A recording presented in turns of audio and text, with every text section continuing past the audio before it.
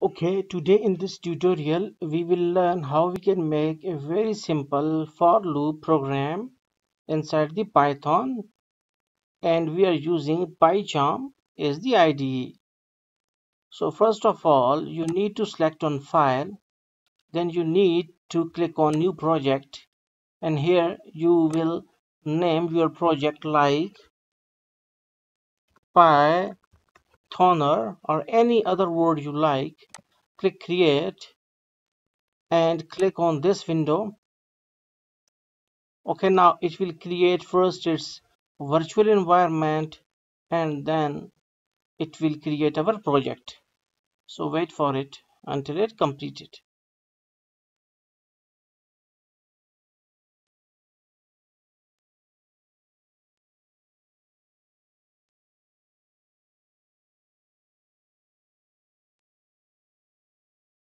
okay now our project is created.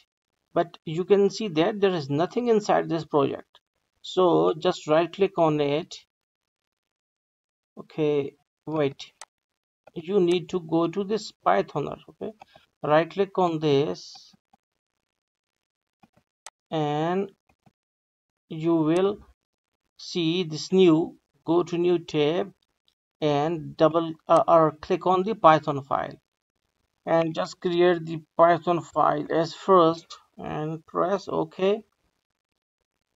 Okay now we got our python file.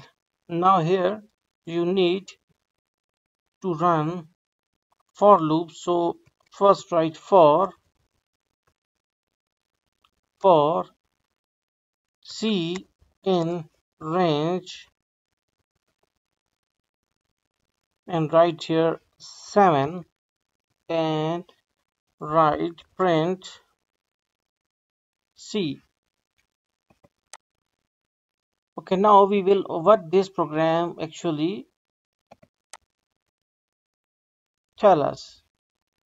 That for c in range 7 means that this for loop runs for 0 to 6 7 means the seventh index not the number. So from 0 to 6 it is total 7 number and print of c actually prints all those numbers. So okay. We need to run it. So come here and right click and here you can see run ist and we will run it. Okay yeah. Now you can see that we got our 0 1 2 3 4 5 and 6 if we used to put here 27 and then we will run it. Then you can see that we got 26 in the results. So hopefully this is a very simple tutorial. Uh, or you can say that just a tutorial on one simple for loop command. So hopefully you got the concept. Thanks for watching this video tutorial